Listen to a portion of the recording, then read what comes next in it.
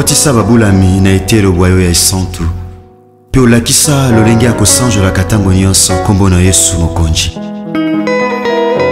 soki mosi anetolaka masiya na elilingi mpe na lolenge ya nyoka ya ebende kuna na esobe ekomi ntango ya kosanjola masiya na polele mpe kotanga nkombo na yesu oyo ezali koloba nkombo nyonso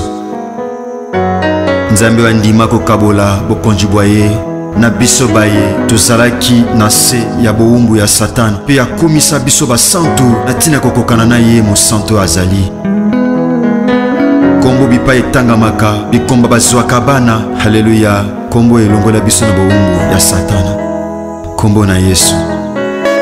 Kombo oyo epesamela mokili na tina ete lobiko etangama na mokili epai ya bato. Yesu Masiya, tika na sanjo la kombo na yo. Kombo epesamela mokili na tina ete lobiko etangama na mokili epai wapi butu ya nkolela mpe ya mikakatano ekomama na mitema mya bato.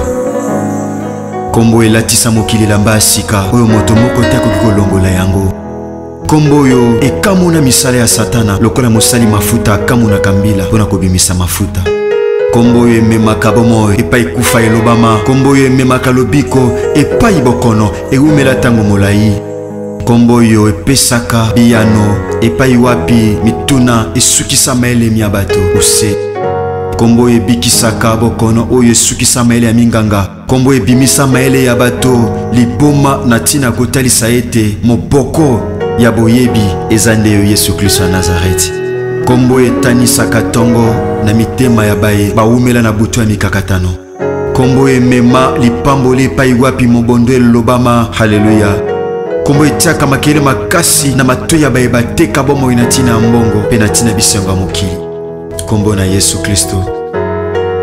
Kombo ba santo ya kala basakola kombo oyo eningisa mpe etengamisa lifelo mpo na libela kombo esopaka ngolu ya nzambe tata likolo na bato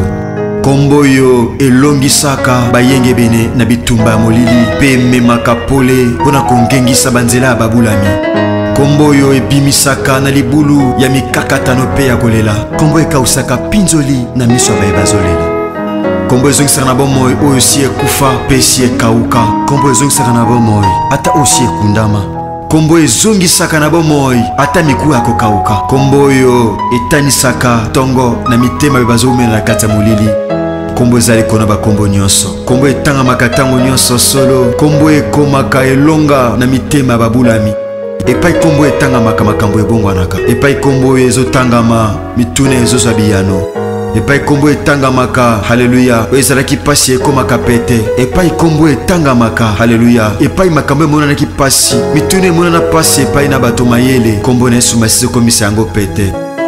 nkombo oyo ememaka esengo mpe koseka na bilongi oyo ebeba na ntina mitungisi ya mpasi ya mokili nkombo na yesu nkombo oyo nzambe tata nkombo eningisaka misala ya satana nkombo oyo ezongisaka na bomoi nkombo ebengaka na kozala eloko etikala kozala te nkombo ememaka esengo na bilongi eseka kala nkombo emema assurance na mitema ya bato nkombo emema lobiko na bomoi ya bato nkombo emema elonga na kati ya bomoi ya bato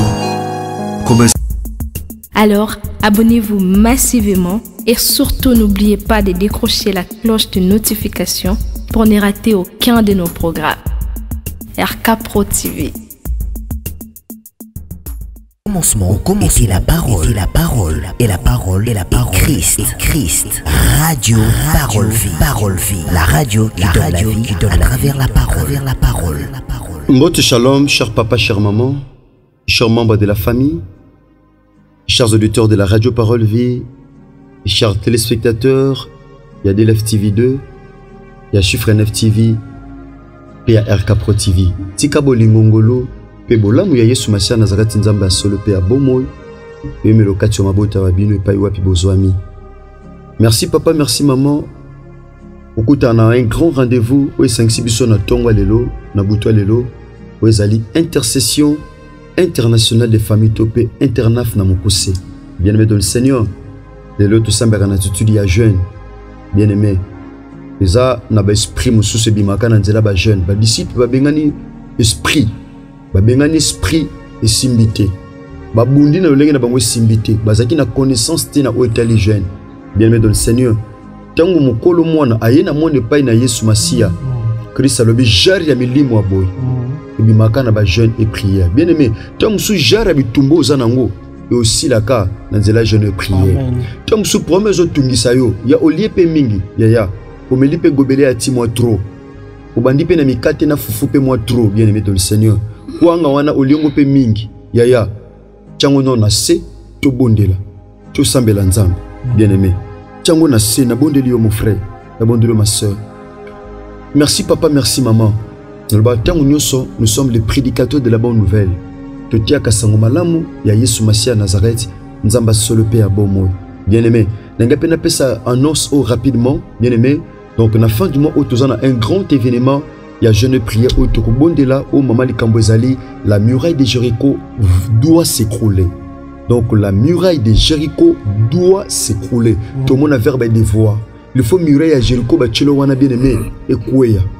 ekweya mpenza yo moko oyebi muraille ya jéricho eza nini na vie na yo eza nini na famille na yo mais tosambela nano mpo na lelo tokila bilei mbo oloba te lokola tokosambela mpe tokokila bilei na fin du mois oloba te ngai nakokilaka bilei oyebi te oyo nzambe akosala na mokolo na mokolo ya lelo la bible a dit na proverbe chapitre 27 na verset 1er ne te vante pas du lendemain car tu ne sais pas ce qu'un jour peut t'enfanter otuta tolo te mpo na lobi mpamba te oyebi te oyo mokolo ya lelo ekoki kobota na kati ya vi na yo tobondela nzambe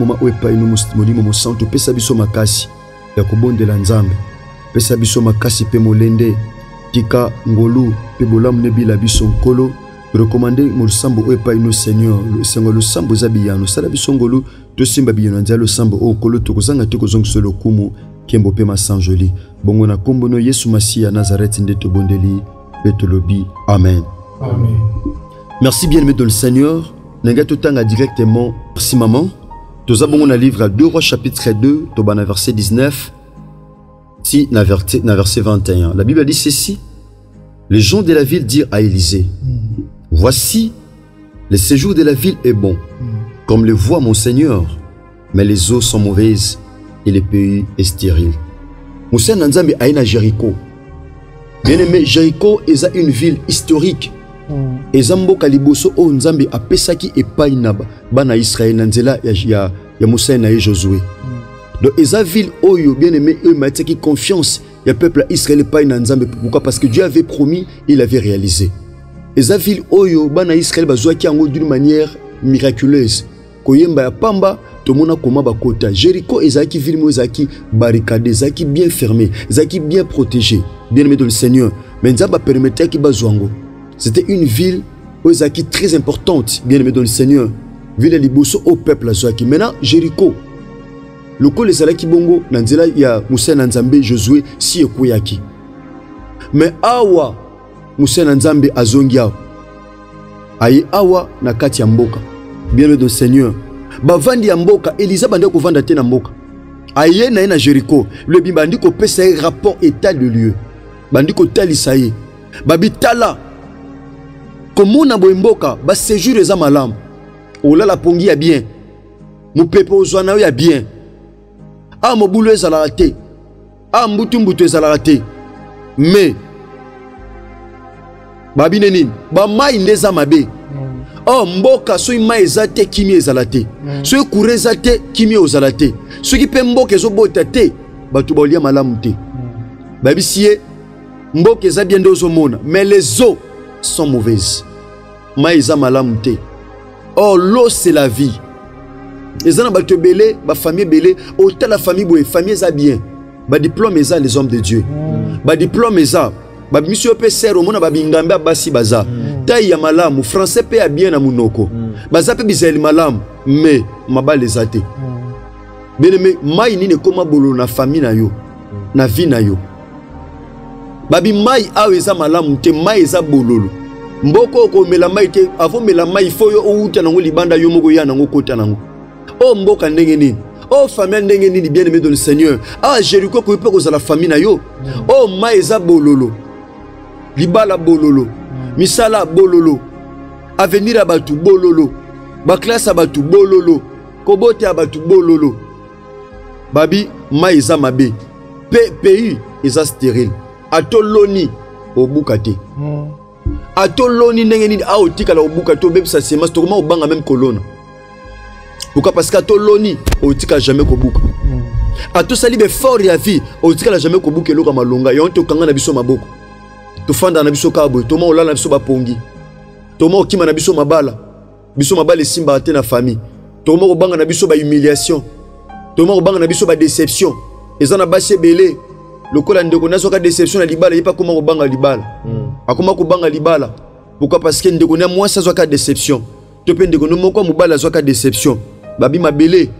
eza sterile mboka ozomona ya sterile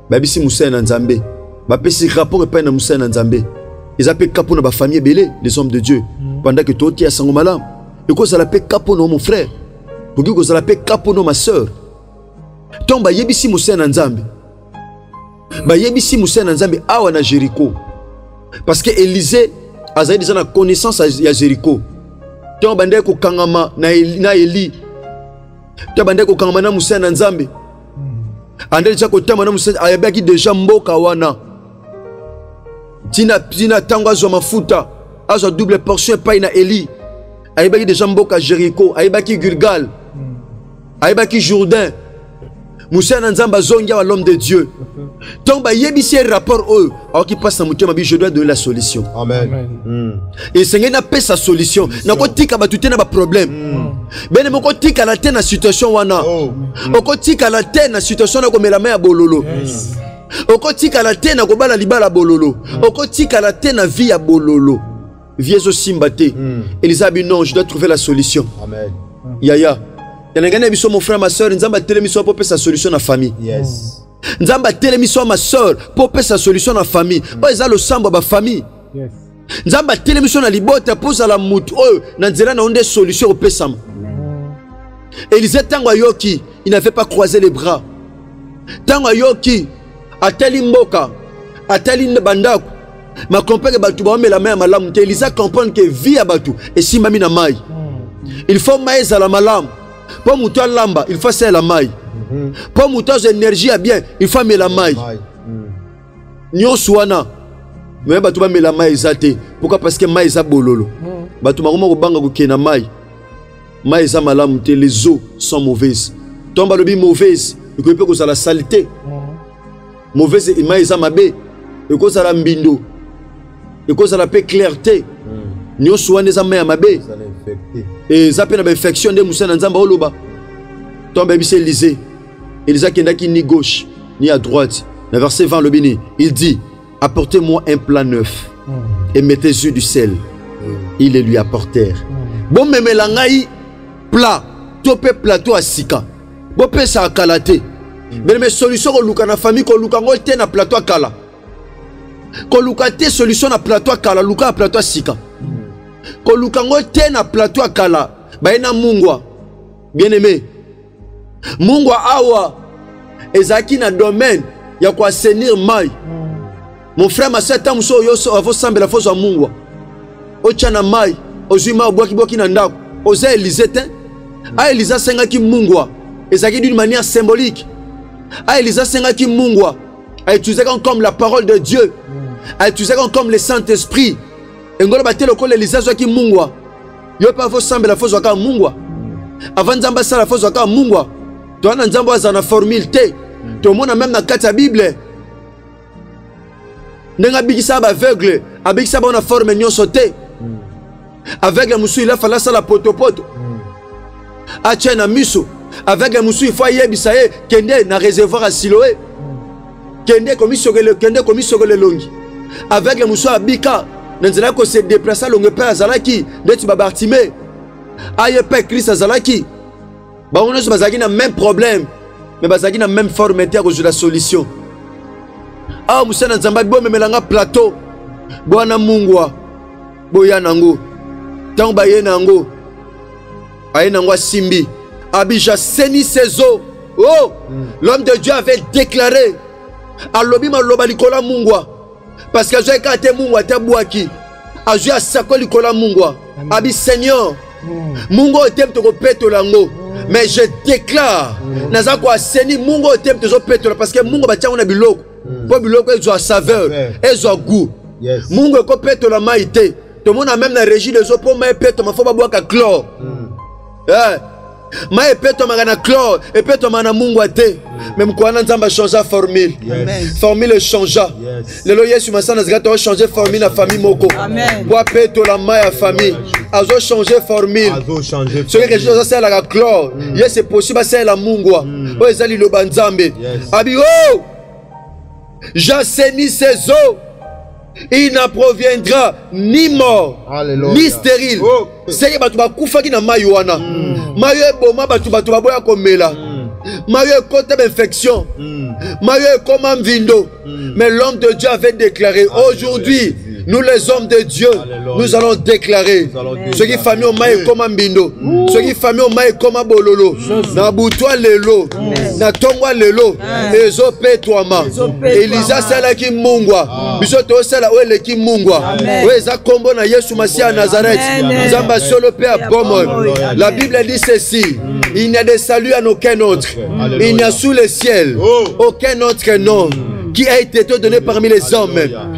par lequel devait être sauvé mm. abi liwe ozala lisusu te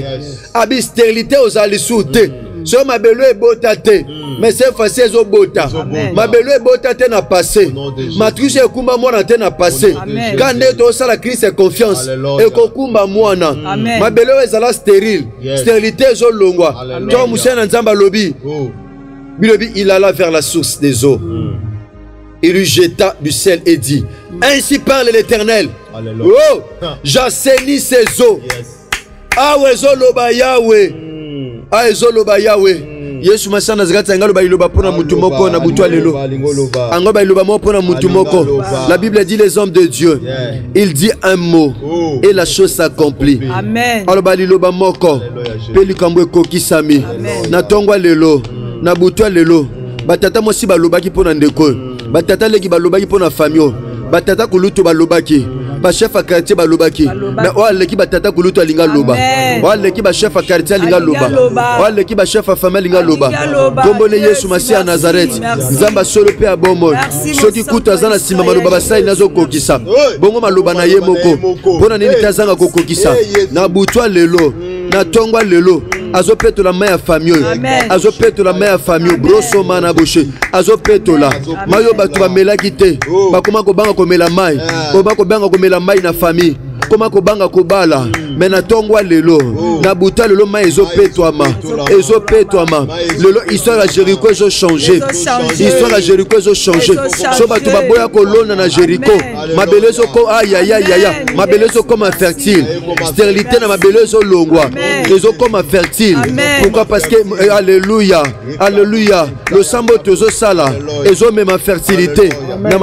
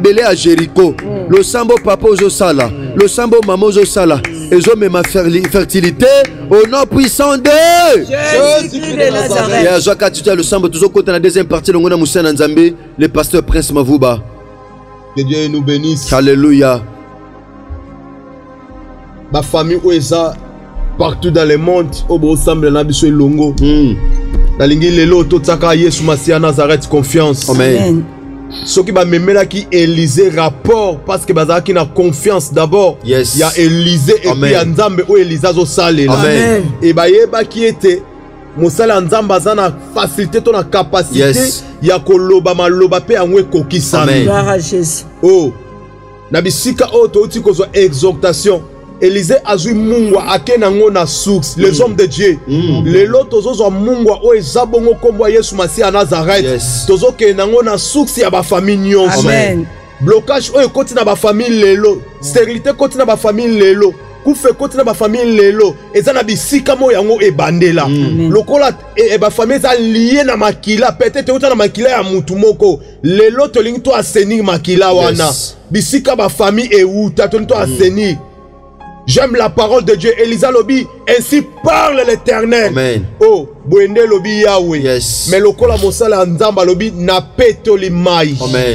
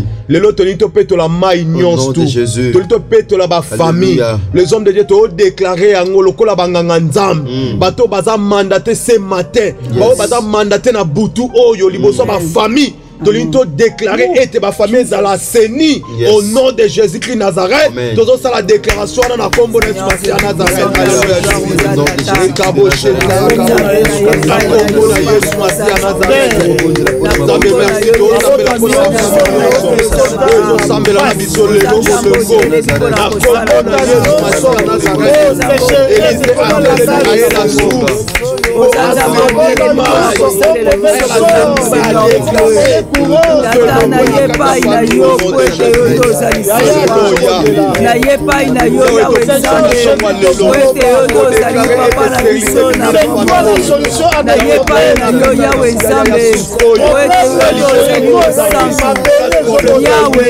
nga na yebi ete yo ezalisa mpona kosala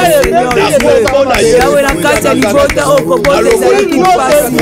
yawe lelo ebanda kopesa mabota yawe nabandi kolongola oyo ezali sterite nabandi kolongola oyo ezali pauvreté nabandi kolongola oyo ezali maladie nabandi kolongola oyo ezali echec babandi kolongola yesu kristo oyo nyonso to etelemaki oyo etelemaki mpe ekangaki fami oyo yawe lelo ebanda kolongola seigneur dieu nayebi ete ma ezalaki ya kobeba lelo na kati ya fami oyo mabondeli ya kobeba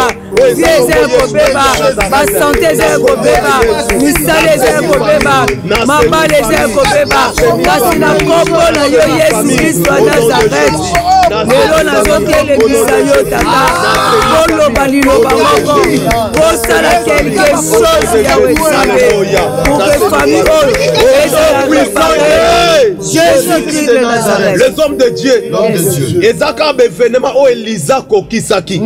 oh samedi tomonaki ndenge ni kufa ekotaki na kati ya nzungu hmm. mpe mm. eliza atelemi azwi farine alongoli kufa yes. elize amema miracle akosekisa meme ata ti mokolo akufa mikuwa na ye ezongisa moto na bomoi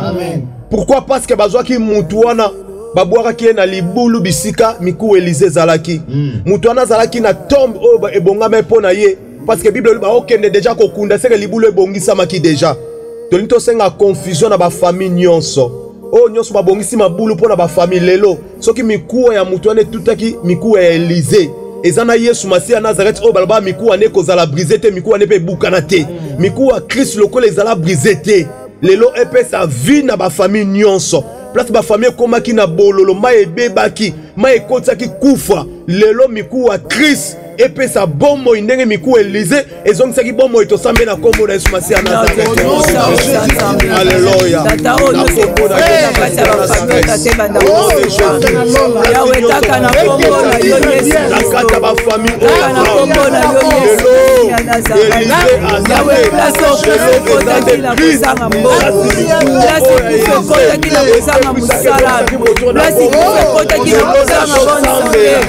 place ikufa ekotaki na kozanga miracle place ikufa ekotaki na kozanga esiko place ikufa ekotaki na kozanga mariage place ikufa ekotaki na kozanga mbongo place ikufa ekotaki na kozanga esengo tata nayebi ete na kombo na yo yesu kristo ya nazareth lelo ozokutana bandeko nyonso ozokutana mabota oyo nyonso okutana bafamio nyonso seigneur dieu kutana bango mpo ozopesa bongo ozopesa mbongo ozopesa bonsante ozopesa mabala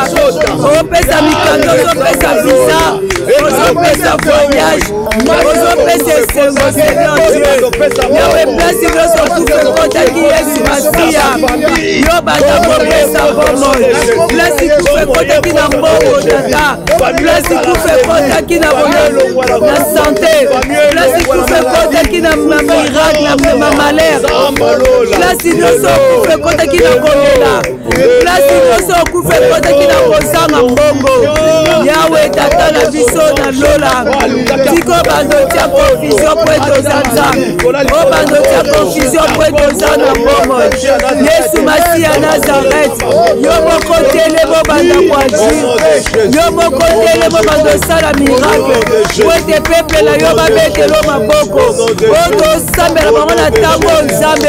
tika miracle ebanda okota na kati ya maboto ezanga mabala na bamabalo ezokende na kokufa na mabalo esi ekufi na bandeko mabala eza te yawe banda kosala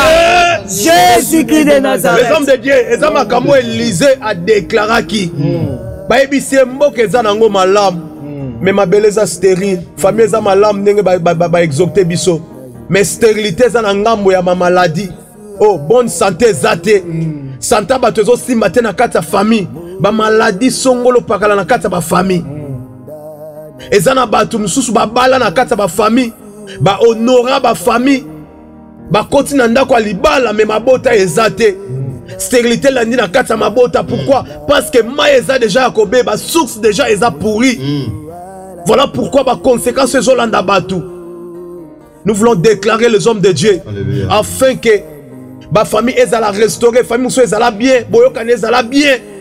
mais eza na likambo moko incomprehension moko ekokota na kati ya famille ekaboli famille mobimba motu na moto akomi na kwe na ye meme ata baza ndako moko omoni ete baoyo balambaka na ndenge na bango baoyo basala mpe na ndenge na bango moto akoyebisa moninga likambo aza te bakomi obangana meme ata koyebana na basekret toli to asenir bafamille lokola nzambe abengi biso lelo ya kofanda na se na ntina komikitisa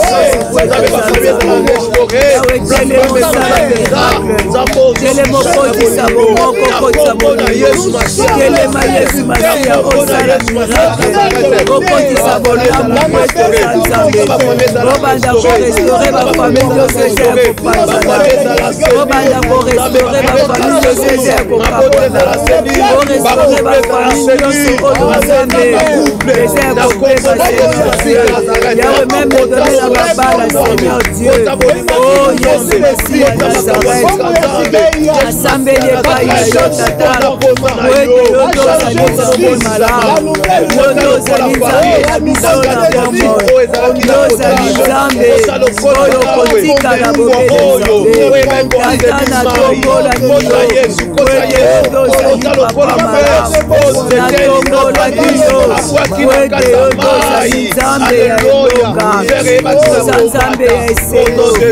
oza nzambe oyo okotikala bobele nzambe o papa na biso na likolo oza nzambe amatamba bongo oza nzambe ya elonga seigneur yawe banda kokotisa kimia banda kokotisa kimia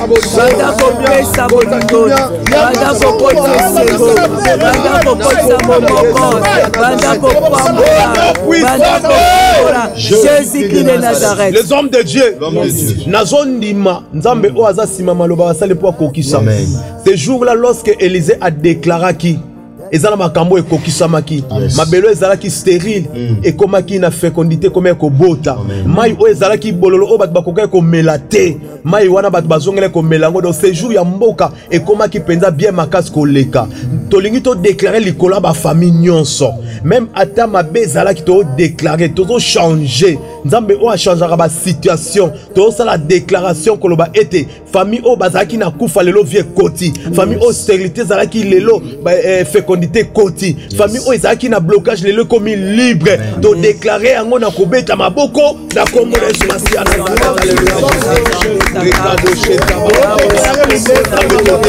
liberté na kati ya maboko yawe nadeklare nadeklare place bongo ezalaki te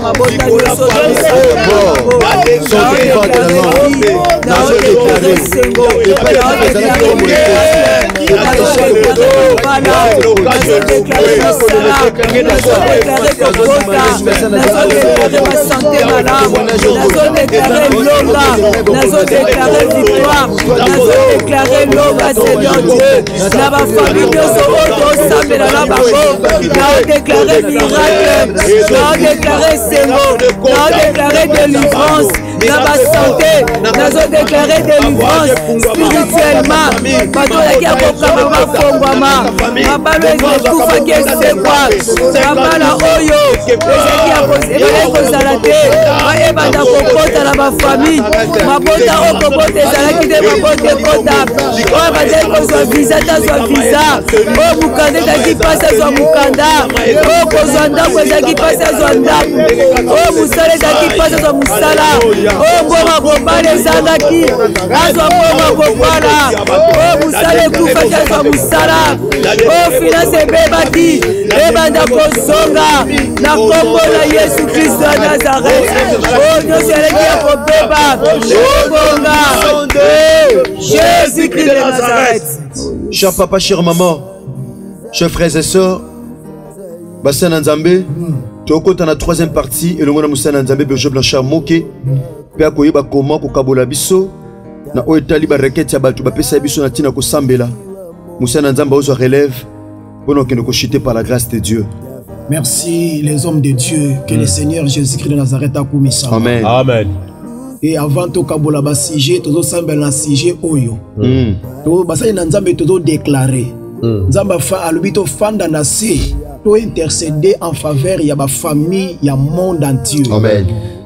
ndenge tofandi na se na ntongo ya lelo to na butu ya lelo hmm. tozoyebisa nzambe moto na ye epela yes. na bafamille nyonso etumba maladi yes. etumba sterilité Amen. etumba chômage Amen. etumba celiba etumba nyonso ya pauvrete na oyo nyonso ezotungisa bafamille ezotungisa basante ya mm. bandeko mm. oyo esimbi misala oyo esimbi finance tozodeklare koyebisa nzambe abomo yesu masi ya nazarete moto na ye epela na bafamille nyonso moto na ye ebanda kotumba mpe kozikisa bainfluence nyonso malefike oyo ezwa place oyo ezwa domination oyo erenia na bafamille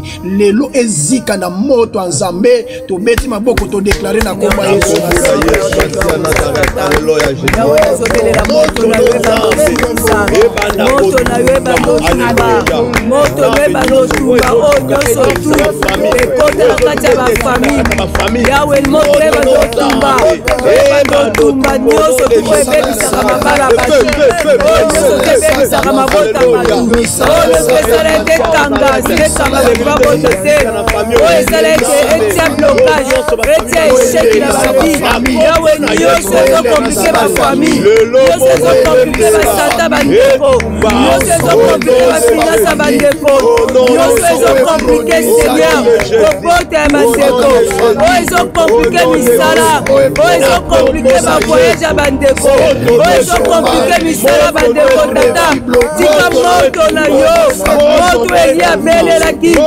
ebanda otumba nyonso ebanda otumba nyonso oyo etelemeli bandeko seigneur dieu yawe nabeleli moto na yo moto ebanda otumba sorcellerie nyonso ezorenye na kati ya libota oyo yawe kindoki ezokela kati ya liboso moto etumbango yawe paso ezokota kati ya maboto moto etumbango bilakeli mabe nyonso esikala moto yawe bilakeli mabe nyonso esikala moto yawe nyonso ya mabe oyo ekoti na kati ya libota oyo esikala moto na nkombo na yesu kristo ya nazarete oza papa na biso le puissant de jésus christ de nazareth tozo partage basujet hmm. mosali na nzambe paster herbi akosambela mpo na baka ya bandeko nyonso oyo bana problème ya misala hmm.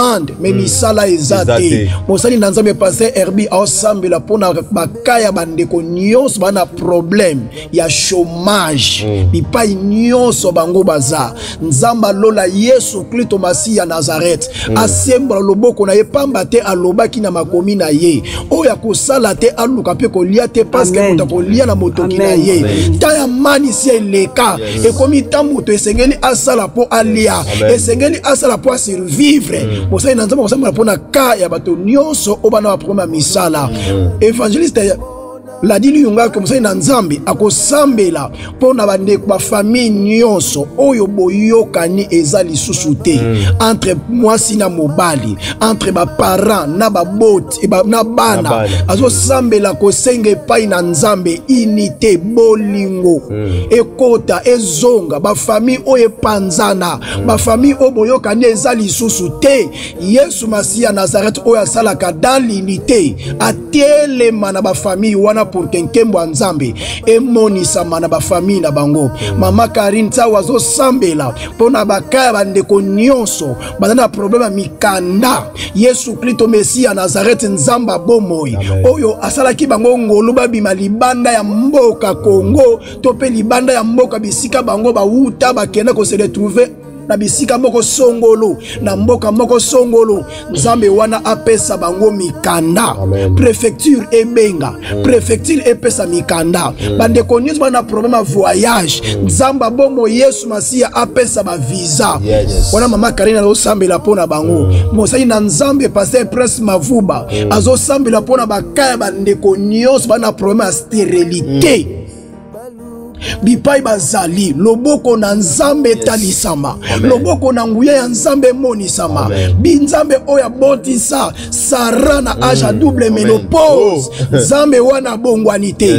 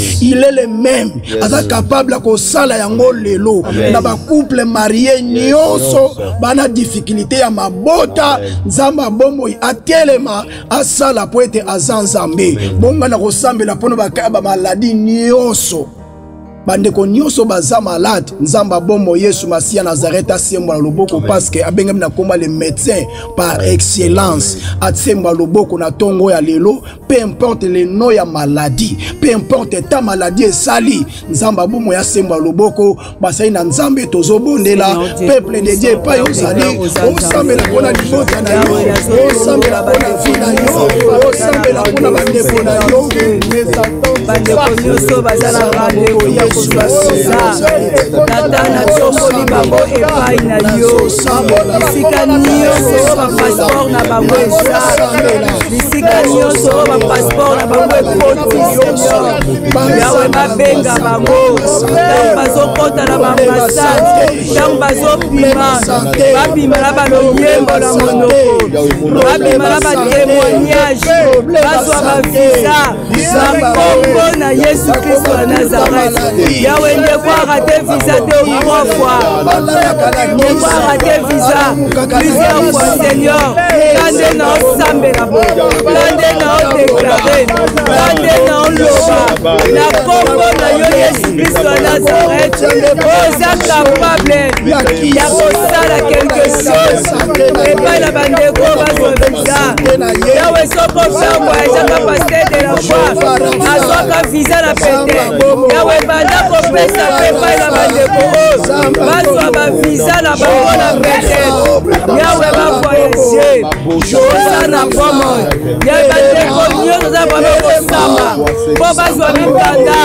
ya wetele bokota makambo na bango ntango baokende interview ntango bazokota seigneur dieu kobima na bango babima na mikanda bazwa badokima na bango na nkombo na yesu kristo ya nazareth yawe refile ezalaka na motu moko te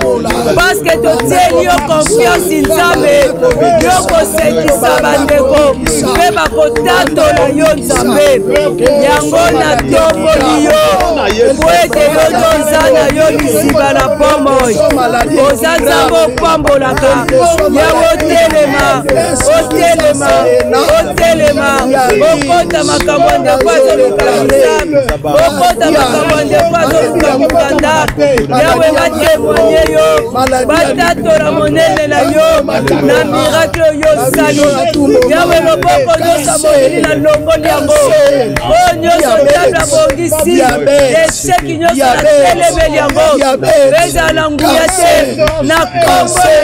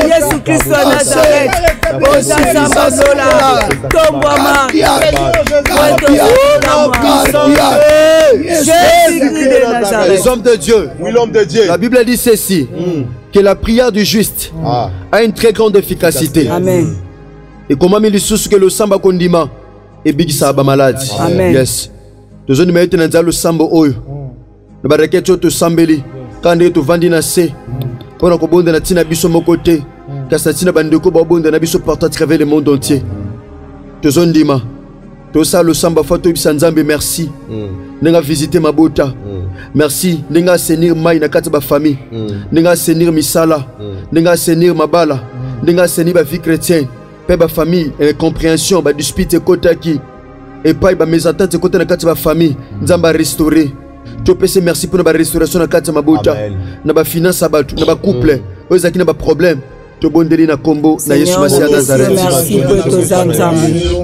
napesi yo merci po ete bato bazalaki na maladi bazwi lobiko bato bazalaki na problème ya finance yo ofongoli bato bazalaki na problème ya mikanda yo opesi mikanda bao bazalaki na problème ya visa yo opesi visa bao bazalaki na problème ya kobota tata yo opesi mabota bao bazalaki na problème ya mariage yo opesi mabala bao baza bafiance yawe nzambe mbongo ezangaki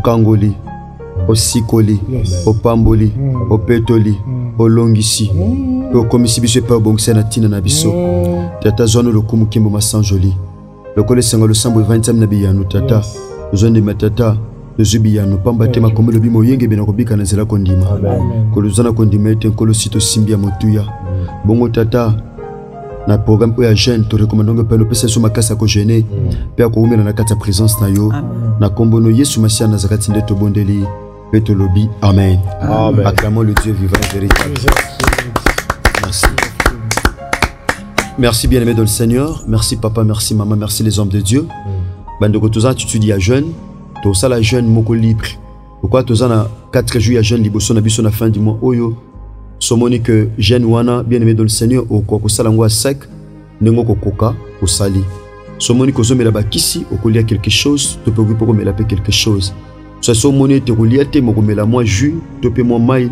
bien aime okoki mpe kosala yango so omoni gene na yo folia komela mpe mwa mai pourquoi parce que estomac kopesa nzela te ogene mais demeure tout simplement dans la présence de dieu umela na kati ya présence ya nzambe comprendre ke oza na attitude ya losambo jeune eza état d'esprit jeune ezali attitude oyo oza nango liboso na nzambe yango wana nde jeune kose prive mpe na eloko moko oyo omesana kosala lokola momesano bien de le seigneur wana ezali programme na biso bongo mama likambo oyo tozolobela na 4 jours na biso ya jeune prière ya losambo eza liboso na biso ezali la muraille de jéricho doit s'écrouler muraille ya jeriko esengeli ekweya donc toza deja komilengela na ntina nango bien aime sambela deja mpo nango yebisa nzambe azanga te kovisite na mikolo wana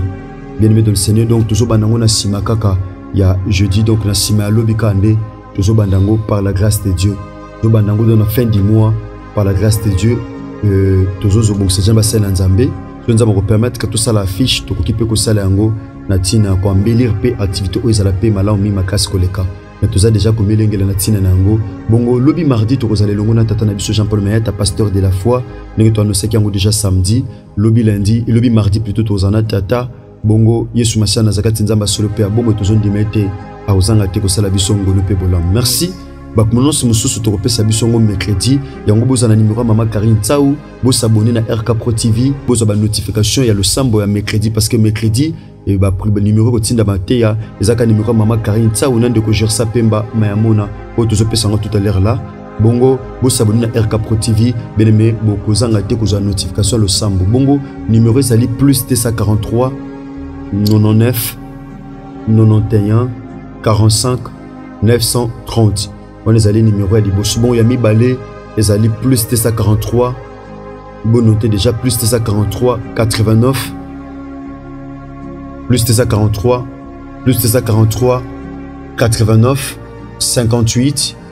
45 200 235 wana ezali nimero ya ndeko gersa mpemba boza na yango mpe bemedonsani bokomela biso tokozanga te bande bosama nyonso na televizio banimero mosusu mpe ezali affiche wana na ba écran ya ndeko rais kangi atie yango wana là nous disons un grand merci tokutani bongo na fin du mois na biso lokola momesano na programme ya jeune bien aimé sambela mpo na yango yebisa nzambe apermettre te jericho ewumela eh, kokangelo nzela bien aimé dolisene tondima nzela ekofongwama mpo yo okota na kati ya jericho jericho mpo na ekozala mpe 2023 eza ekozala mpe jericho mpo na yo merci na basai na nzambe nazomona kulutu eh, mosala na nzambe évangéliste ladu luingacho kola pambolo mpenza kulutu asalo mpenza ngolu mpe bolamu nazomona eh, mosala na nzambe Mama Karine Tsao, Nkola Pambola yo, Pasteur Prince Mavuba, Berger Blanchard Moke, Charles de Feu, Kola Pambola yo, Ndeko Heritier Vuvu, et puis Ndeko Gersa Pemba Mayamona. Merci Ndeko Rais Kangi RK Pro TV, Ndeko Rais Kangi Bwelo, elongo na RK Pro TV. Merci na ingénieur Chris Kundenga mpe Ndeko Trésor Ntingi. Soki Chris amizongeli te, tokutani bongo lobi na numero ya sika elongo na tata na biso Jean-Paul Mayata.